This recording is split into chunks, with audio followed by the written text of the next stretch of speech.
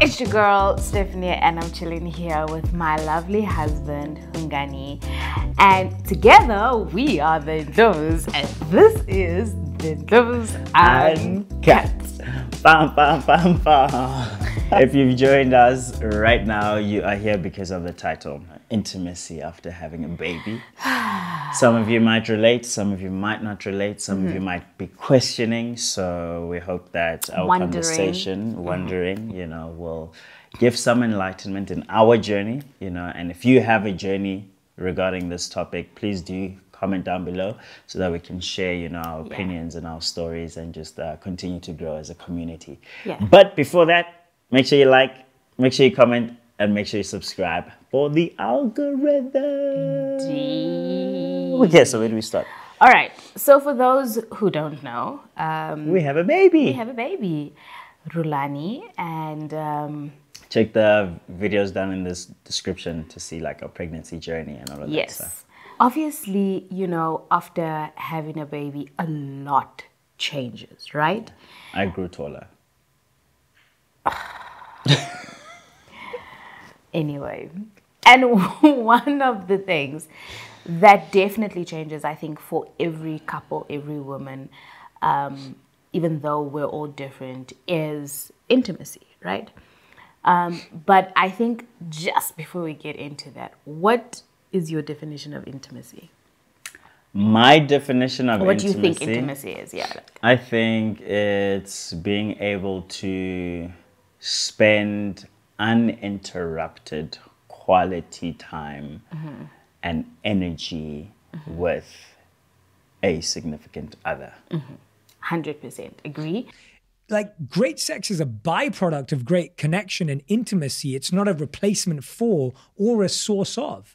I think I just wanted to say that because a lot of the times when you say intimacy, people automatically go sex. And though sex is part of intimacy, it's not the only, you know, Yeah. um, it's not the only thing that that sort of uh, defines intimacy. Yeah. So we're speaking about how intimacy on all spectrums sort of change after having a baby. yeah. Should I start? I mean, I think so. okay this might be let's you know what let, let's let's let's put it out there i could be wrong fine and i don't want to start fights but i think that um, because we're the ones who carry yes the changes affect us as a couple but i think the bigger change happens with the woman in my opinion Nah, let me, I'm joking. Yeah. And I say that for a number of reasons. Yes, mm. at the top, the first thing you're going to think of is physically, right? Because mm. physically, so much changes. Whether you gain a lot of weight, whether whatever happens, whether you're breastfeeding, the biggest thing for me was my hormones mm. and my hormones taking so long to actually just regulate and get back to you know, in the midst of having this is our first child, you know, in the midst of trying to breastfeed a baby who doesn't want to be- breastfeed either, you know, there's so many changes happening that I think um, us kind of ends up taking a bit of a, a backseat um, in those initial few months. So for me, I think that um, women are like, but women are more affected um, if they, it's not a competition, but if I were to look at our experience um, on some levels where after having a baby is concerned and where intimacy is concerned. What role did that play in The, our int- us being intimate? So- By saying women are more affected, Yes. What What are you insinuating? Well, I'm insinuating for me personally because I went from like, like physically looking a certain type of way and feeling a certain type of way, and that leads to uh, when we're intimate. Now I'm speaking about intimacy, sexually intimate specifically. Um, you know, feeling like sexy, and like after having a baby, I just didn't feel sexy and i didn't feel um, like i wanted necessarily to be like touched or you know um, for you to even give me attention because i was just like oh my gosh i had a c-section. What is happening? You know my nipples are on fire.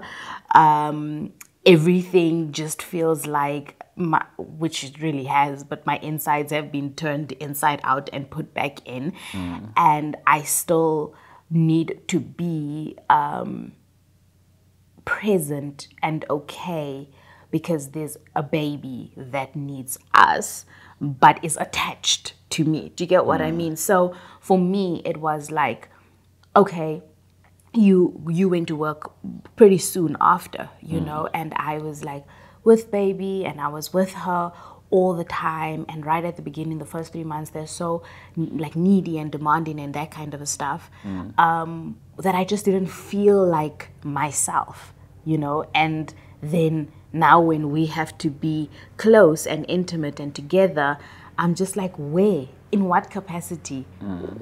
With what part of me? Honestly speaking. And i think that's what i mean when i'm like i feel that on an emotional and or maybe more on a physical kind of a factor that then leads to our emotions as well. Um, women tend to be i let me not generalize for all women i was um, very much affected. What was the biggest thing that affected you? So I think it's um it's like a dual kind of thing because if you are affected, the byproduct is that I'm affected. yeah yeah So I personally don't think that there is a one or more that is affected than the other because either one being affected affects both. Because your level of um, affectedness, whether it's hormones, whether it's how you feel, whether it's trying to understand all Yeah. of what's going on, all of that directly affects me. Mm-hmm. And it also puts me in a place where, or put me in a place where I was trying to assist mm-hmm. in you finding yourself or feeling better about yourself or mm-hmm. etc etc which is a dual thing so i think for me the the biggest thing was trying to help but not really knowing how to help because it's such a sensitive thing because it's very now very relevant and to not like keep probing and poking because i don't always know like if it's something you want to talk about or if it's something you just want us to sit in and just Yeah. like be quiet and just sit together. Um, so i think for me that was that was the biggest challenge like how do i assist you in something that I can't change your hormones, I can't make them regulate as quickly as whatever. I can't help you heal from the C-section and all of that. I can't make you feel sexy if you don't feel sexy. Yeah. Like the, all of these things. Like so, where do I assist you? Yeah. um, which I think was my my biggest challenge. Um, but for myself, it was also like trying to understand what does what does our intimacy look like now, Now, that we yeah. do have a baby because like we are being intimate with our baby yeah in the very moment when you're struggling with all of this you're still carrying out intimacy with Rue yeah and I'm still carrying out intimacy with Rue. And in some of those instances, we carry out intimacy, all three of us together, Yeah. when we are whatever, laying in the bed or whatever the case might be. So I think it was just like for me trying to navigate assisting you more than thinking of myself. I think I didn't really process much of how I feel, mm-hmm. but more of, especially because I saw mm-hmm. exactly what happened to you Yeah. in all of it. but that but you so it sorry like, to I break your know word it's like a lot. Yes, but that that's happened. but that's why I was saying it's not by any means or measure a competition. We mm, go mm, through mm. it differently. But what I was um, insinuating earlier about women is the very things that you're describing now. Is that yes, by virtue of it affecting me, it affects you. But in the physical sense of it, it is not your actual hormones that are be that that's being challenged. It's not your actual body that's being chopped up and cut up and put back in place. Mm. And that's what I was referring to when I say yes, both men and women are, are affected by you know a baby, but I think that the way in which um, the sacrifices and the things that, and it's beautiful, don't get Mm. me wrong, but the, the things that are required from us as women is actually just more from even just no, the that's a fact, side. And but so, that's not in conjunction with intimacy. That's in conjunction with having and housing and birthing a baby. Yes, yes, yes. But it affects the very all those physical aspects of birthing, housing, and whatever. So mm. what I'm trying to say, it has a ripple effect on everything. Mm. So because of the housing and the birthing and the physical aspects and the emotional aspects and the hormonal aspects, mm. it impacts intimacy, which then impacts you. So what I'm saying is that this ripple effect that's created starts primarily with us and us having you know to be so a lot of the times i'll give you an example like um when when it was like when you know Rue was still like a few weeks old and you're really trying to stay afloat i had a number of breakdown days for one because i think that you ask yourself like am i even doing the right thing here? You know you question we question like my gosh are we actually you know Yeah. doing doing the right thing? But also i think because you for me went back to work so quickly and that wasn't anything of anything. That's what needed to mm. happen do you know what i mean? Um, there were some times where i was like genuinely envious you know and, mm. and i know we're speaking about intimacy right now mm. but i'm saying digress, but it's okay. but the digression is on point with how all of this impacts our time together, which is intimacy. So, my point is, you would then go to work. I'm at home, I'm with her all day and so mm. forth. You get back because of the type of work you have, and you're equally tired, you're exhausted. Um, you don't sleep through the night because you're also waking up when she wakes up, but you still have to go to set. I'm exhausted and I'm tired from actually being present with the mm. baby. So, when we have to now come together, we're exhausted. Mm. Really, we're just tired. Yeah. And so that will impact your intimacy because you will choose. I'm gonna sleep where I can sleep. You know, Yeah. your levels of frustration is a lot higher. Your levels of mm. irritation is a lot higher.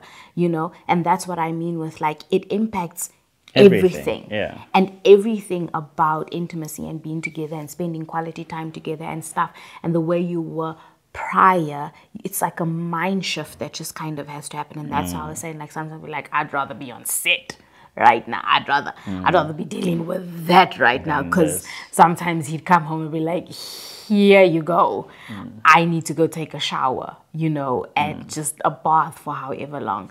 So um, I think that the biggest thing for me was everything that was happening and the ripple effect that it had and Yeah. impacted intimacy. Um, but the, the the main thing that it also boiled down to was just for the first few months your just level of exhaustion Yeah. and the two of you kind of your romantic relationship and just you know level of whatever takes a bit of a a backseat. Yeah, I think it's bound to because like you've introduced a whole new dynamic to your Yeah. life, to your relationship. You have a whole new level of responsibility, um, but also you've like it is it's like a pinnacle moment Yeah. of life yeah you know like it's it's huge and Yeah. i think something of that magnitude is bound to change so many aspects of one's life and i mm. think the the most important part of of all of this is that within all the difficulties and within all the challenges it's where growth happens Yeah. you know and i think the the beautiful thing about this journey or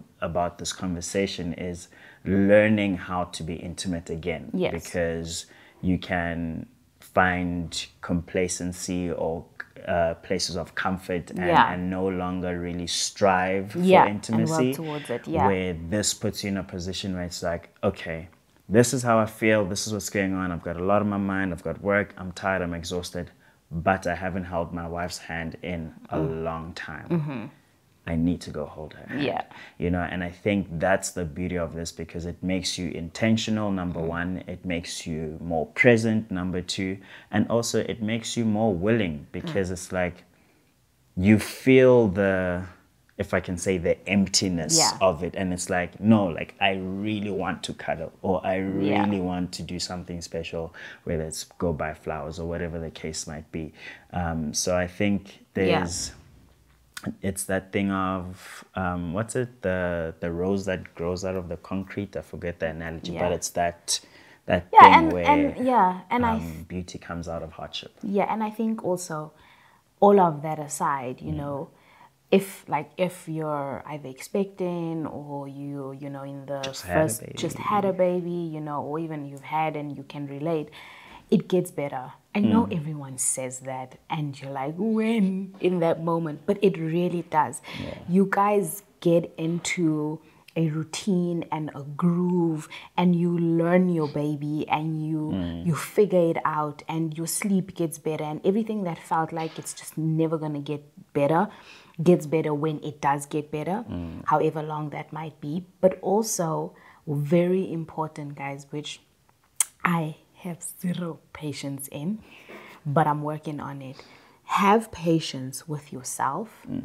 with each other, with this huge, like Hungani saying, like change that has just happened. And don't have expectation to kind of live up to, match up to not just things you see out there, but mm. also like um, other couples and people's experiences because your experience is your experience, Yeah. tailor made for you mm. and your household. However, somebody snapbacked, is that how you say it? Mm, mm, the snapback of of timing, whether it's you know the body and all the pressure we And put people on don't ourselves. tell you how they snap and people back, also don't so tell don't you how. So don't even think it's just. But even if it is the case that they just did, or whatever the case might be, you know, try your utmost to say this is our story, this is our journey, this is how it's unfolding mm. in our home, and alleviate some of that expectation and pressure from mm. yourselves, you know, because at the end of the day, things are not always as they seem, one, but two, we're just very different. There might be, you know, some other woman right now, or couple even, that experienced their first child and had complete bliss. It mm. was as if nothing changed. Maybe. I'm just saying maybe. No, it- it maybe there's happens. there's It that where it's just like boom, came, beautiful, intimacy was the same, couldn't wait to get back into, you know, romantic intimacy as well. Hmm. Um, like you weren't even trying to wait for the six weeks to, you know, they're like it's Mm, wait for C section, C section wait six weeks. I'm not sure how much it is for a natural, birth. Um, you know, to be intimate some people are like women are like i am i'm, I'm ready day four. I don't mm. know. But the point is it's just your journey tailor made for you mm. how it is. Be patient. Take your time. And guys i'm saying this whilst i'm sitting here whilst i'm in it practicing it. I've not mm. mastered it. Trust me. Us kungani we've had many Listen, many Let me put it this way. conversations this is take two. this. Of this video. Let me Yeah, put true. it that way. That is very true. Take guys. one was, a mess. a mess. because why? We hadn't had time when we were intimate and intentional about spending time together in a long time because work has been Crazy. immense. And then we decide to make And then we try to make this video whilst having whilst having just the same day a, a difficult a difficult because it was conversation like- about the very same topic. So then we sat down talking about, About- intimacy when So you can imagine the In fact, I'm gonna put like a snippet just so you can see the tension tension. right at the end of this video. Um, so yeah, yeah, silliest decision ever. But that's the realness of it. And that's not that long ago. It was now now. Yeah, a few days ago. day. Just the other day. So we're not sitting here like, you know, experts on it. But Yeah. definitely the takeaway would be um, be patient with yourself, you know. Mm. Take time with yourself, with each other. Communicate, talk, Mm. and just appreciate. Try to be present in the moment for what it's worth. Mm. But it gets better.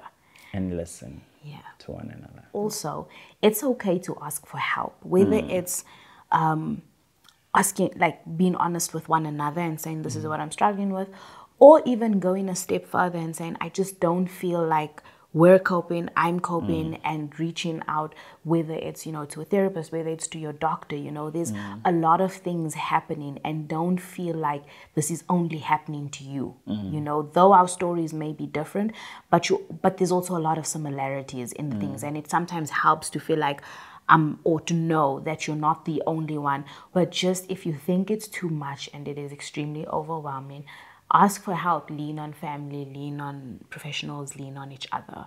Um, lean on God. Also, most importantly, right at the top of that, lean on God, and just it's it's beautiful. It's a beautiful journey. I love where we're at right now. So the camera just died. Um, all three batteries apparently are flat, but yeah, I think we kind of got to the end of the video. So the end of the video is a vlog. I mean, it's not a vlog. It's just it's done from our phone. Um, but yeah, it was definitely a great way to end. um, but yeah, no, for real. If you guys um, resonate with anything that was shared, please make sure that you like the video. If you got to this point, I mean, really, you gotta like the video.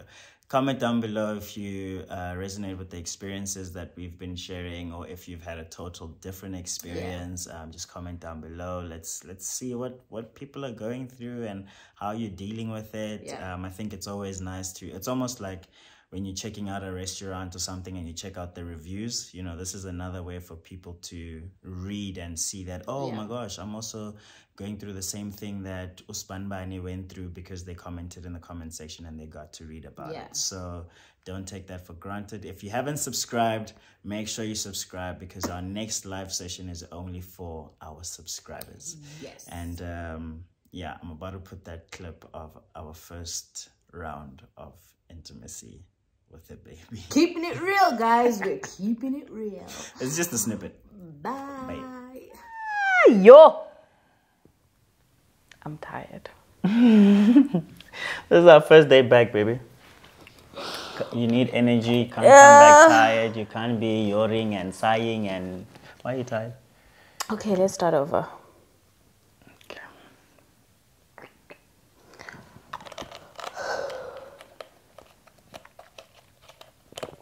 Take number two. Ready? Yeah. Actually, I have just put this back. and see. Pretend.